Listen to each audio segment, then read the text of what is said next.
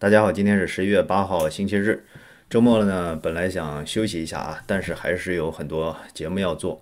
这期节目就是关于选举舞弊和辟谣以及没有辟谣的啊那些舞弊传闻的集锦。我说过一定要做的，虽然现在有好几十几个国家已经恭贺拜登当选啊，拜登他们也已经发表了嗯可能要胜选的演说，然后推特号也改了，但是我说这个节目呢，就是一定会做出来啊。本来这个节目呢，我昨天就想推出，但是随着网上铺天盖地的这种舞弊的传闻呢，每一条都要去查，还是非常困难的啊。结果材料越积越多，加上又是周末，所以就一直到现在了。好，首先说那个密密西根那个六千票，那个传闻是真的啊，那个网上甚至有辟谣说是假的，但是最后是真的。呃，当时确实共和党州的委员会、全国委员会罗姆尼都去了，但是后来呢，发现这个县呢确实是。错了六千票，后来纠正过了。其他县呢，好像没有发现这个问题。然后第二天，罗罗姆尼呢也向拜登发了贺电了。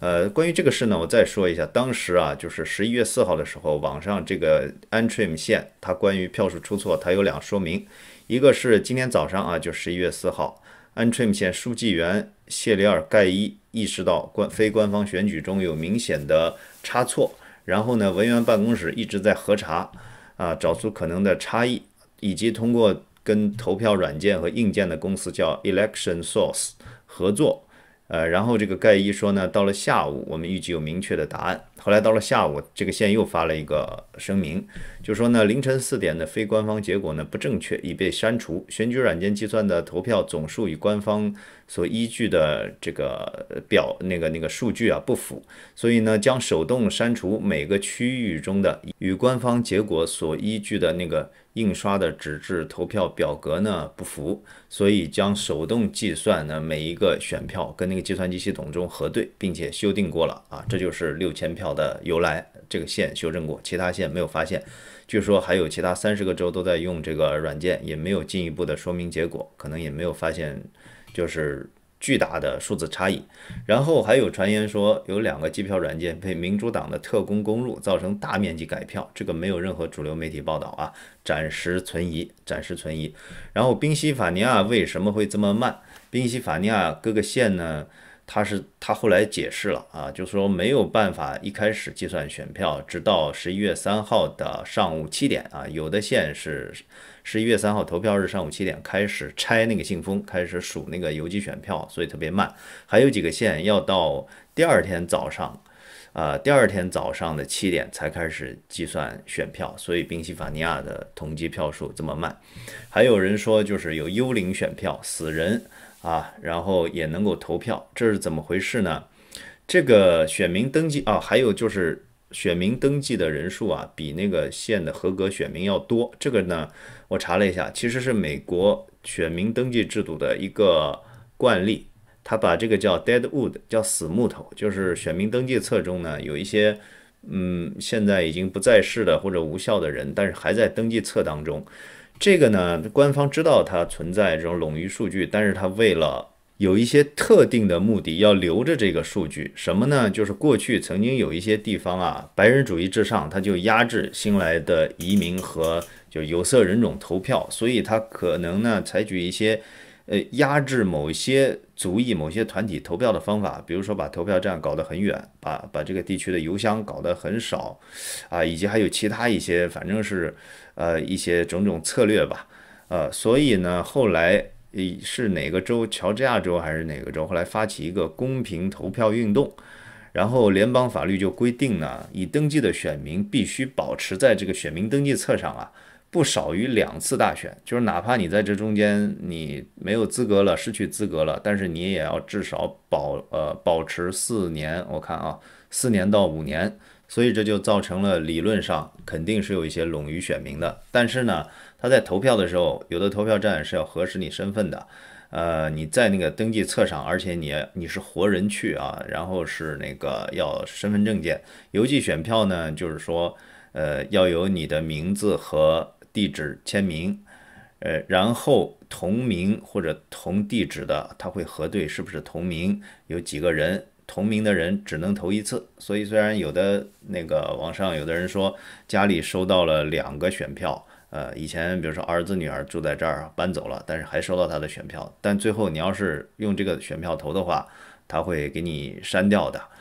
啊，关于这个哦，对了，那个压制选票的历史呢，以前有《纽约时报》《华盛顿邮报》都报过，佐治亚州啊就有这种历史啊，甚至在少数族裔的地方关闭投票点，制造种种不便，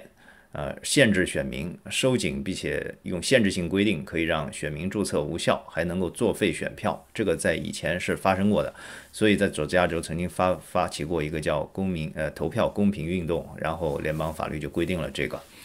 然后这个幽灵投票啊，就是你可以，就是死人一百多岁的人也可以注册，但是你可以注册，但是呢，他会在最后有个审核啊，把这些人呢，呃，好像跟什么呃死亡登记名单核对啊，如就是说给你删掉啊。网上还有一段录像，是说有愤怒的投票者啊，然后什么跟那个投票人员吵吵架，然后投票人员在那儿涂改数据。网上是有这个录像，这在英文的推特上在流传。这个录像呢，后来人们就把它放大一点，就发现这是俄罗斯选举时候的投票的录像。它那个投票箱上印着双头鹰的国徽啊，这是在英文世界比较流传的一个一个那个。然后关于那个最著名的两条线，就是那个密西根和宾夕法尼亚在凌晨分别，那个共和党和民主党嘛。两条曲线突然蓝线往上有一个跃升啊，那两条线是有人解释了，一个呢是全国各地的邮寄选票，呃，然后统计结果汇总，结果突然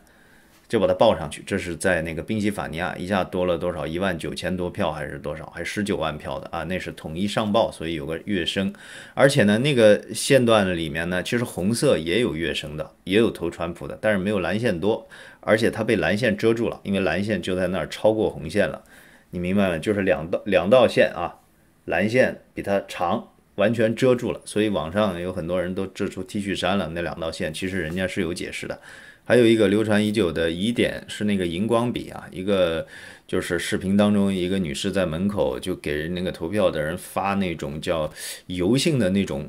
那种笔啊，写在黑板上的。然后其实这种笔呢，据说机器没有办法读取啊。那个笔叫什么什么沙皮笔。最后实际上呢，是投票机是可以读那种笔的啊。这就是一个简单的辟谣。那个投票站人出来说了啊，那种笔是可以被正常那个读取的。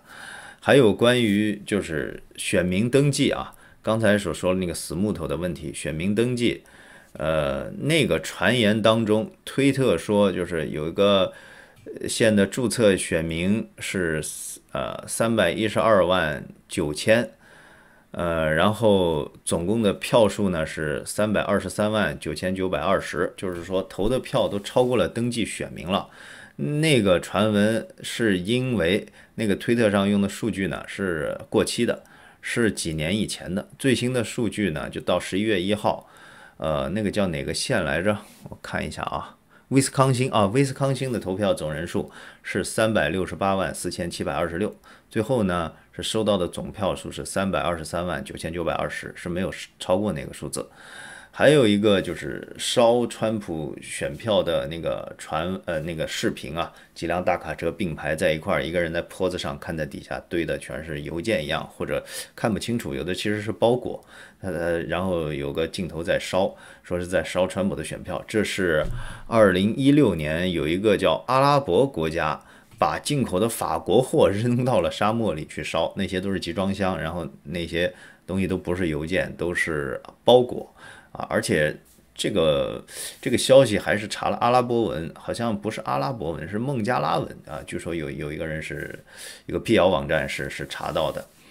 呃，现在唯一一个还有一个叫偷选票，就是佛罗里达街头啊，几个公呃有有有几车子邮件把它丢到那儿了。那是一个在二零一八年十月份发生的，那是一个邮政工人。呃，是什么与领导发生了矛盾，然后当天辞职了，就把那个邮件小推车都放在路边，他就走了。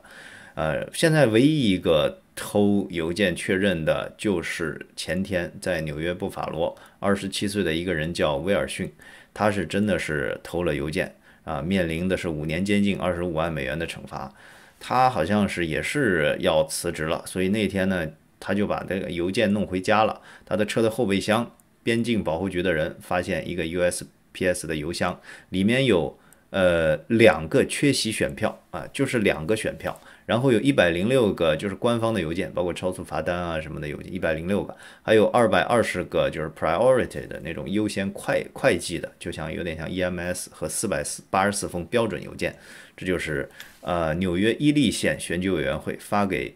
哦发给纽约州布法罗的两个缺席选票啊，就是丢两个选票，呃，然后这个人被抓了，他也是因为跟邮局领导有矛盾。呃，然后就是关于网上流传的说，呃，那个国土安全局什么 CIA 在一些选票上做了标记，啊，说的有人说这是钓鱼啊，有人作弊会查出来。昨天国土安全局发表声明，我们并没有在那个选票上做特殊标记，所有的选票都是呃一样的，啊，都是一样的。还有一个重大疑点呢，是没有明确的什么澄清或者辟谣啊，这个确实是个疑点，但是有人给出解释。呃，这个事呢，就是说，这次投票是总统和参众两院一起投的，刚好是在一起换届嘛。然后呢，乔拜登投票人数啊，往往比投民主党的两个参选人啊票数要多得多。比如像在密西根啊，川普和共和党人就是詹姆斯参议员啊，只有七千多票差距。拜登呢和民主党彼得斯之间差距是六万九千票。还有佐治亚州。川普和共和党参议员选票是八百一十八，那拜登和民主党参议员投票差距是九万五千，就是说投拜登的特别多，反而投那个党派的比较，他同党派的人很少。这个呢，有人就是正常的解释就是，呃，人们选总统的积极性高，但是选那个议员呢？可能他是根据政策，他有可能选的是拜登，但是投给了共和党的参议员，或者对那个参议员不是很满意，他就不投票了。但是就是投拜登一定要投啊，这是一个正正常的解释。从反过来呢，也有人就是给出，呃，反正如果呃就啊就是反推法了。如果说你要作弊的话，你你就是得同时作弊，你就把那个投拜登，然后呢同时也投民主党候选人，你不会搞得差距这么明显。啊，但是这个呢，目前没有人提出这是一个或者明显的舞弊，或者说没有证据表明这个。你光从这个票数差距上呢，你看不出来，呃，所以也没有人去对这个进行研究。呃呃呃，不是没有研究，是关注到了，但是没有说这个东西就是一个舞弊啊。但是这是一个疑点，还有一个最大疑点就是本福克定律啊，那个我昨天也看到了啊，所以本来昨天就想出这个节目，但是因为事情实在太多了，所以我必须一个个查。本福克定律简单的说，大家都知道生活中的一些呃随机的数字吧，呃，然后它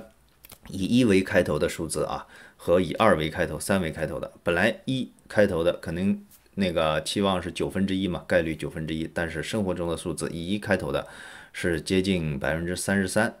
呃，然后越大的数字开头呢，它那个就越小。其实这个概这个规律，我觉得是因为。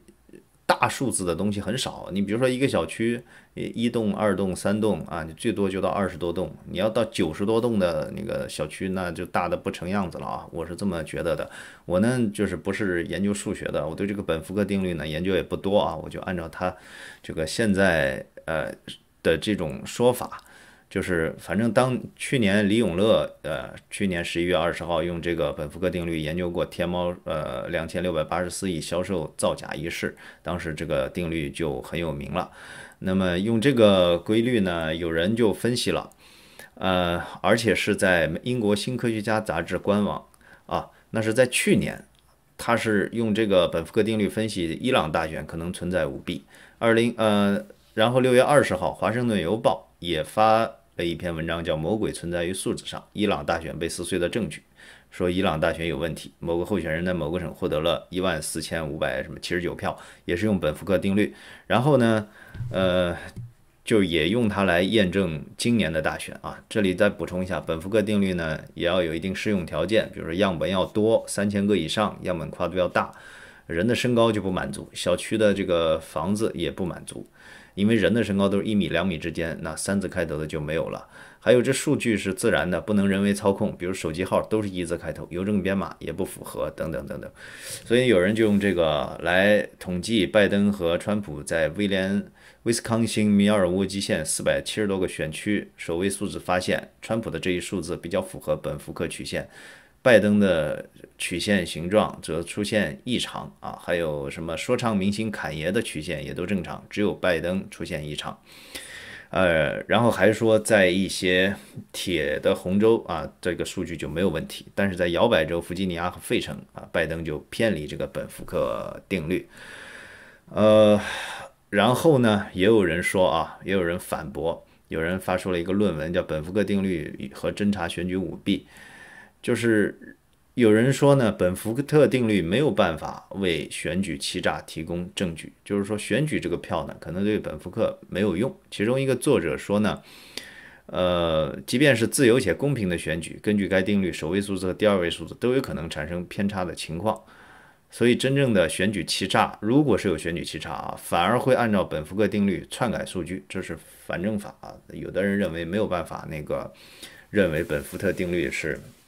能够证明欺诈，然后还有人说川普的数据也完不完全符合本福特定律。然后我还提提出了第三种假说，就是因为拜登这一次啊，确实是拜呃托了大量邮寄选票的福，所以呢。他在之前没有邮寄选票的时候啊，可能两个人数据都符合本福特定律啊，那选的人就少嘛，也可也可能那个拜登不符合，因为本身他的选票就在后面，那个前面的数字他反而少，而川普主要是现场投票者，所以他一直符合。然后后面呢，那个邮寄选票都统计上来，那些数字就是被相当于被限定的数字，就不是自然数字，不是自然分布的，全是投拜登的，百分之七八十都是投他，所以他的数字就一下子上来了啊，也不符合本福特定律啊，这是目前的疑点和一些人的解释吧啊，总之就是这个是有疑点啊，但是能不能说明舞弊不知道啊，还还还有一件事儿我忘了，就是那个顺丰快递啊，顺丰快递呃，有人说是。就是海外的美国人在中国的美国人用顺丰寄到美国啊，顺丰确实是现在有从海外邮寄到美国的这个业务，而且非常的快，也比较便宜。而且顺丰它其实是跟 FedEx 和 UPS 呃合作的啊，所以是这样的。好，关于这个本福特定律呢，在疫情早期吧，三四月份，我看到就中国的官媒也用这个来证明中国的数字没有造假，因为。有的两个学者啊，他用本福特定律来看中国的感染数字，武汉的感染数字，他说那道曲线呢显示没有异常。结果最后你知道发生什么事吗？是在三月份还是四月份啊？中共直接把那个死亡率啊提高了百分之五十，一下加了五千多人，好像死亡人数一下加了一万人，然后那个感啊感染人数加了一万人，死亡人数直接增加百分之五十，非常精确的百分之五十。所以那最后一下子。本福特定律也就不起作用了，所以本福特定律呢，是不是能用于大选或者统计一个什么感染病的传染数字，这个还不好说，有待这个数学家去验证了。所以对于整个的舞弊的，我的看法呢，就是第一，大规模系统性舞弊呢，我也不知道发生了没有啊，但是呢，我设想了一下，它要怎么去发生，呃，一种呢就是邮寄选票舞弊嘛，那你需要把。一大车的邮票掺和进去，如果是每个县呢，就是几千张。美国的信封都是那种传统的啊，扁扁的，然后十十个呢，大概是这么这么多啊，可能没有，可能这么多。所以一百个呢，可能这么多。然后一万个呢，大家想象一下，一个正方体，那还是一个箱子吧，至少一个中等的箱子啊。呃，一个县如果做几千张，那么你就要至少找一个人。把这一箱子假的呃邮呃邮件选票给放到那一大摞里，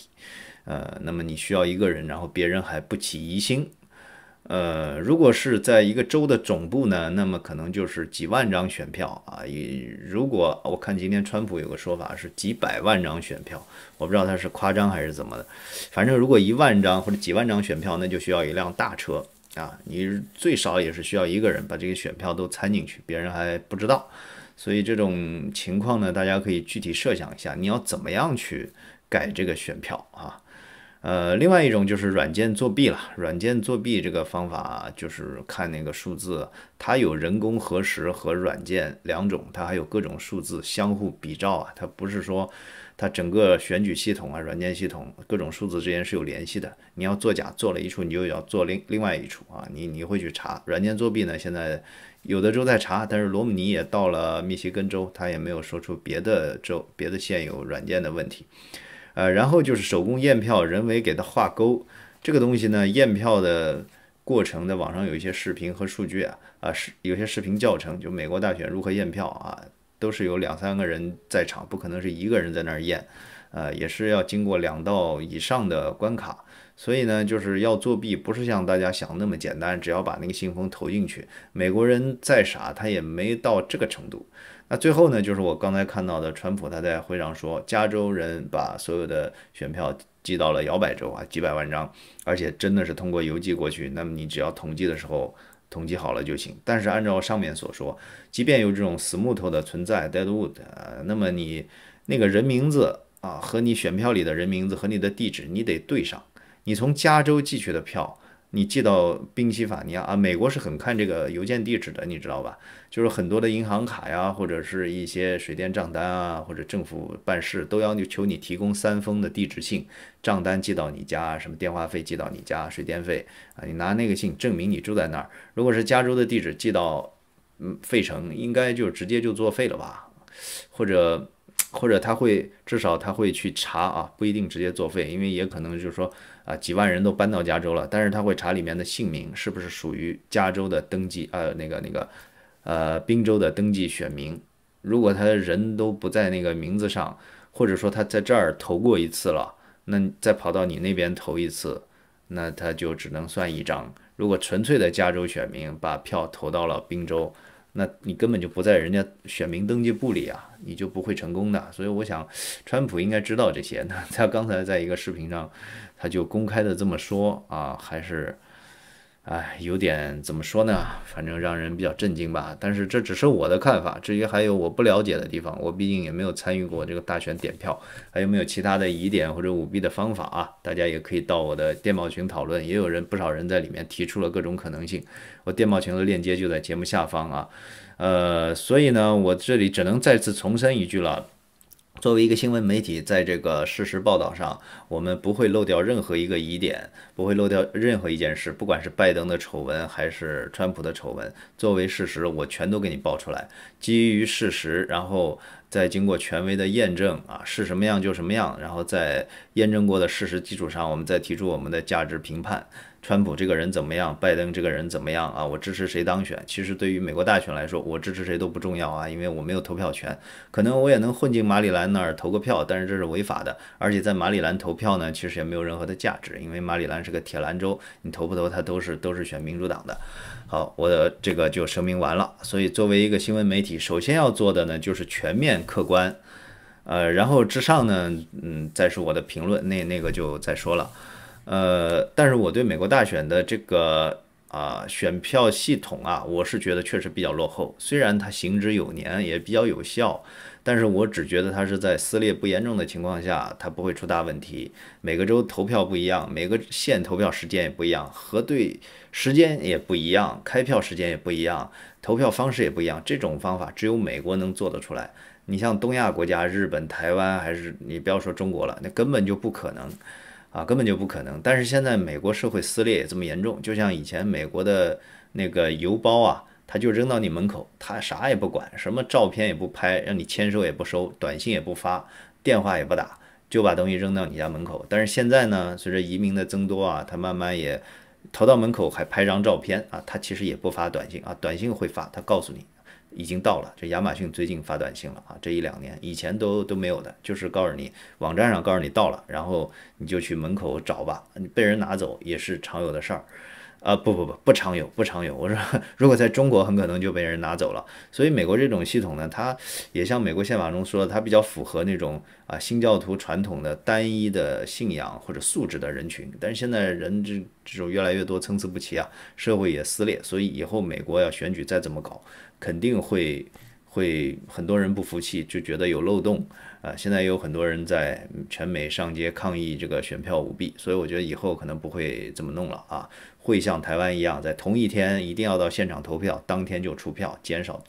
把争议啊减少到最少。如果这种投票方式，你想象一下发生在中国，你看推特或者油管海外的中文舆论圈，自己不是局中人，对美国的大选都能撕裂成这样。如果这个大选是发生在中国，那么已经中国已经是处于内战状态了啊！这是这是一些后话或者我的感想。那现在呢，很多的川普支持者还在抗争。我认为呢，他们未必是对川普这个人有多么喜欢或者认可，而是对他背后的路线的认可。所以这是美国社会目前深层次的问题。美国现在看似民主共和左右撕裂的背后呢，其实是一种阶层固化和上下的断层，以及呢传统美国的远去。啊，这是面对全球化和人类发展，我觉得是一个必然的时刻。简单的像那种开倒车回到过去，回到美国的传统呢，啊，至少从表面上这样回去呢，可能是回不去了。呃，所以不过呢，现在这个大选仍未结束啊。虽然美国的媒体已经公布了啊，但是我们过一会儿另外一个节目会说，到底媒体公布能不能算啊？但是我认为，反正川普还没有放弃嘛，这个也没有。就是定下来啊，拜登也没有正式上任，所以我就认为大选还没有结束啊，最后总统还没有选出来，所以现在对舞弊的疑云没有散尽啊。卢比奥还在发推说内华达州说几万张选票没有这个签名的，用机器核实的，没有人工核实啊，那可能有待核实。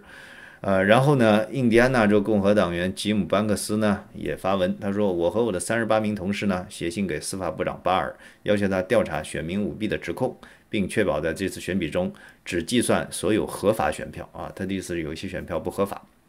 因为呢现在有近四十个共和党众议员呃联署呃寄信给那个司法部长巴尔啊，要他展开调查。从今天开始，也就是周一，川普的团队就向各法院递交了诉状啊，有的呢被驳回，有的呢现在在受理当中。那么美国媒体啊，像什么美联社、纽约时报啊，国家。那个叫什么 NPR 啊，宣布川普当选，他是不是有效？川普他会不会上诉到最高法院？能不能坚持到最高法院来判断？如果一直打到最高法，最高法会怎么判？六比三的保守派大法官是不是会保守派坚定的挺川？保那个法官他到底会怎么看这个事情？那么呢，我本来想今天再做个节目，可能来不及了啊，可能会明天一大早做一个节目。啊，来说一说。那么，另外，大家对美国的大选舞弊有什么看法？对川普这四年留给美国什么样的一个